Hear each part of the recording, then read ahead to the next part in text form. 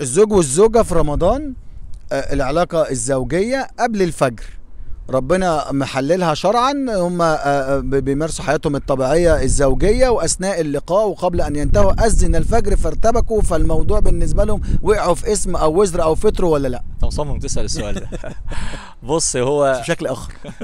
الله سبحانه وتعالى يقول نساؤكم حرث لكم فأتوا حرثكم أن شئتم وقدموا لأنفسكم واتقوا الله.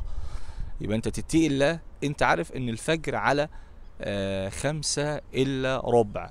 خلاص يبقى انت أربعة ونص خلاص الموضوع متوقف عندك. أربعة ونص ده تقوم بقى تشرب مية تغسل سنانك تعمل بتاع خلاص انت. هتاخد شاور علشان تنزل أو تغتسل علشان تنزل تلحق الفجر في المسجد. هو ده المفروض إن أنا أعمله. طيب لو أنني ظللت أجامع زوجتي حتى أذن للفجر صيامك وصيام زوجتك غير صحيح وأنت بذلك تعمدت الإفطار والجماع في رمضان. نفس الجزئية الخاصة لو أنت بتقول لي رخصة السفر أنت مسافر أنت ومراتك أو إن أنت بقى انسان ضعيف في الجزئية دي فقررت إن أنتوا تسافروا فبالتالي بتستفاد برخصة السفر حتى إن أنت لو فطرت عشان أنت عندك رخصة سفر ممكن كمان تجامعها. ربنا هو اللي يعلم نواياك. هو إحنا مش عايزين نتحايل على الله أيوه. ده اللي أنا قصدته بسؤالي. الذي يتحايل على الله عز وجل هذا يقع في ذنب كبير وإثم كبير لأن تعمد الإفطار في رمضان كبيرة من الكبائر التي يعني لو أن الإنسان صام أفطر يوم كما جاء في الحديث لو صام الدهر كله لم يكفه.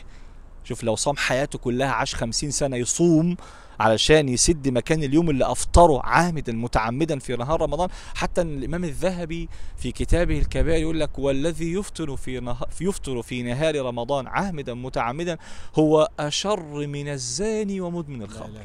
شر من الزاني طب- دي, دي ده ركن من أركان الإسلام. طب ما يا دكتور أحمد أكيد في ناس من اللي هيشوفوا الفيديو ده دلوقتي أكيد عملوا كده. ايا كانت في مرحلة من مراحل حياتهم هل بقى هيعيشوا تحت العنوان ده ولا في كفارات في طبعا الله سبحانه وتعالى يتوب على من تاب ويغفر لمن أناب.